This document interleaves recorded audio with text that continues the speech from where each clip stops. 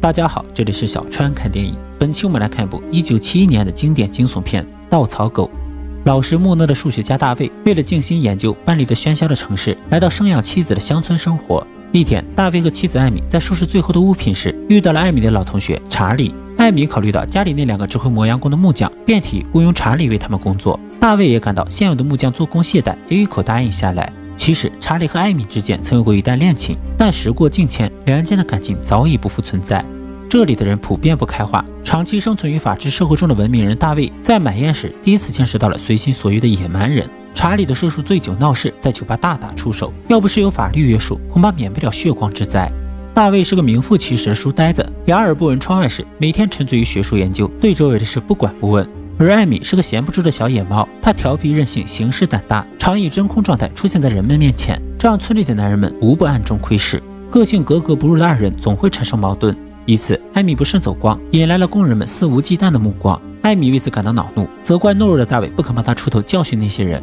和善的大卫不愿无端生事，况且他觉得这件事也没什么大不了。然而，艾米却赌气地脱下衣物，站在窗前一泻春光，让查理等人大饱眼福。这也为之后的事情埋下了祸根。后来，大卫依然沉迷于学术，百无聊赖的艾米只能和猫作伴。某天，大卫外出时遭到了工人们的嘲笑和恶搞，大卫很生气，但没有发火，却不想他的忍让却滋生了工人的嚣张气焰。这天，艾米的猫突然不见了。不久，大卫在衣柜里发现了已经被吊死的猫尸体。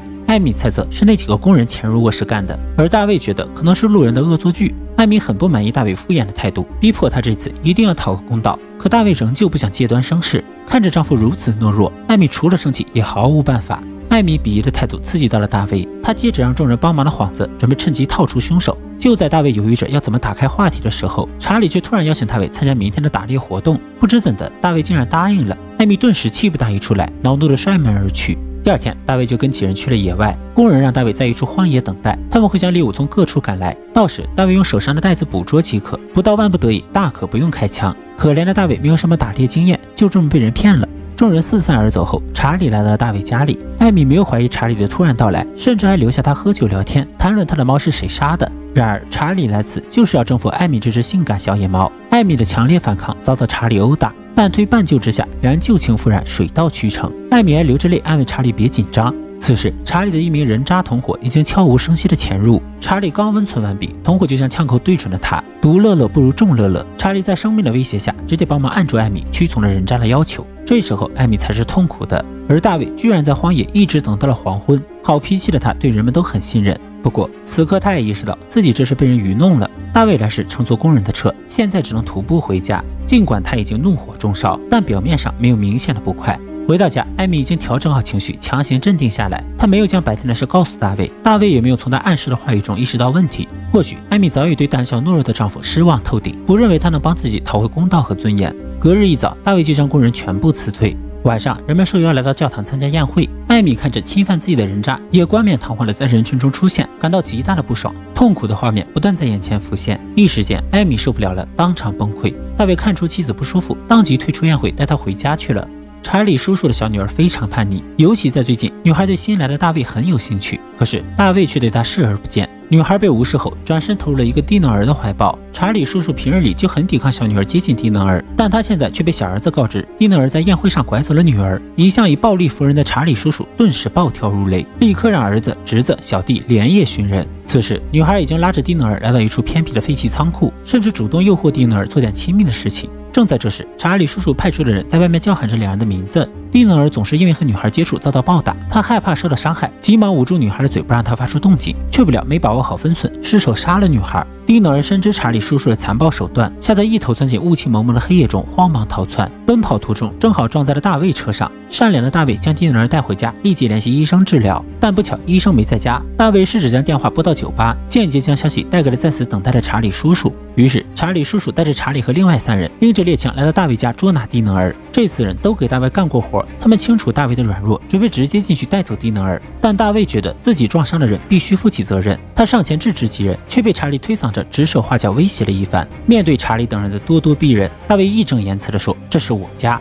而艾米已经报了警，查理不敢再无理取闹。但查理叔叔是个暴脾气，他没有如愿捉住蒂能尔，气得拼命砸门。艾米担心对方冲进来施暴，吓得赶紧让大卫尽快阻止。可大卫也没胆开门相劝，只好安慰妻子说门很结实，对方一时奈何不得。等警察到来，事情自然会迎刃而解。外面的人没了办法，边用石头砸玻璃，边咒骂着，低能儿吓得躲到卫生间。而艾米深知查理一行人的劣迹，他劝说大卫交出低能儿，保自身平安。但是饱受欺辱的大卫已经忍无可忍，家是他的底线，是他的尊严，他誓死也要守卫这里不被侵犯。而低能儿只是引爆大卫的导火索。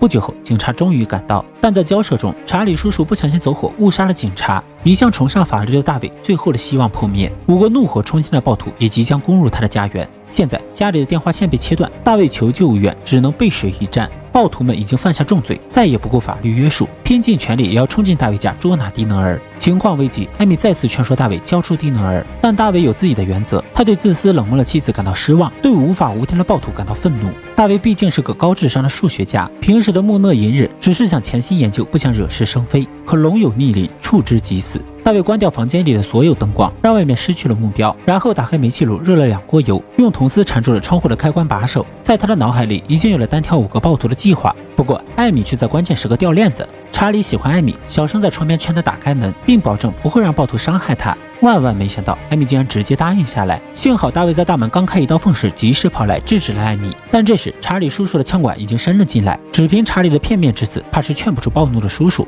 大卫锁住门后，艾米嚷嚷着要出去。妻子的决定让大卫心灰意冷，终于一巴掌抽了上去，怒斥妻子胆敢开门就拧断他的脖子。接着又劝慰艾米放心，门很结实，没那么容易打坏。现在外面的那群暴徒已经失了心智，要是放起来，谁也活不了。如今早已没了退路，只能破釜沉舟，与对方决一死战。艾米挨了一巴掌后变得老实听话。他听完大卫的分析，可算认清了当前局势。这时，屋外的暴徒已经砸毁了窗户上的阻碍。大卫蹲在床下，等对方伸手进来的时候，立刻用铜丝缠住了对方，将刀尖顶了上去。男子害怕大卫下杀手，赶忙交代他妻子的事全是查理干的。但大卫顾不上思考，转身就去解决下一个入侵者。查理三人点燃窗帘照明，准备用枪击杀目标。大卫端起滚烫的两锅油绕到窗侧，趁机全泼了出去。一时间，三人捂着脸惨叫不止。大卫和艾米刚灭完火，另一个窗户又被破开，两人急忙躲进卧室，死死锁住了门。大卫让艾米上楼躲避，他将音乐放到最大声，再次持起武器藏在窗侧。当对方举枪翻窗而入时，大卫一棍子敲在枪管上，暴徒下意识开枪，正好打烂了自己的脚。紧接着，大卫用手中的铁棍放倒了随后闯入的暴徒，然后又干掉了另一个偷袭的人。此时，查理端着枪从后进入，与大卫对峙起来。与此同时，那名侵犯过艾米的人渣精虫上脑，居然还想着对艾米行不轨之事。但是艾米口中却喊着查理的名字。大卫瞪了查理一眼，赶紧往楼上跑去。人渣停下动作，命令查理将大卫带走，等会儿他们轮着来。可是查理喜欢艾米，要不是这个人渣出现，他可能已经得到了艾米的心。查理越想越气，怒火中烧，当即给了人渣一枪。大卫抓住机会扑上去与查理厮打起来，两人抡起拳头，拼命的想要置对方于死地。大卫滚到家中收藏了巨大捕兽夹前，举起来就往查理的头上招呼。查理挣扎了片刻，就被凶狠的夹子咬断了脖子。就在大卫以为解除危机时，最后一个暴徒突然冲出，将大卫揍得毫无还手之力。大卫叫喊着让艾米去拿枪，然后抡起扯断了栏杆，狠狠往暴徒头上敲去。不过他毕竟是个文弱书生，要想打败长期劳作的强壮汉子，还得靠艾米手中的那杆枪。艾米颤颤巍巍地举起枪，扣动扳机，干掉了最后一个入侵的暴徒。大卫爬起来盯着艾米看了一会儿，最后选择和低能儿一道出走，只留给艾米一地的尸体。低能儿说：“我找不到回家的路。”大卫回答道：“没关系，我也找不到。”人性本恶，当法治被暴力践踏，尽管不情愿，但大卫还是选择了最高效的方式，以暴制暴。兔子急了还咬人呢，别说是一个有底线和原则的人了。好了，本期就到这里了，喜欢的朋友别忘了点赞关注，感谢大家收看，我们下期再见。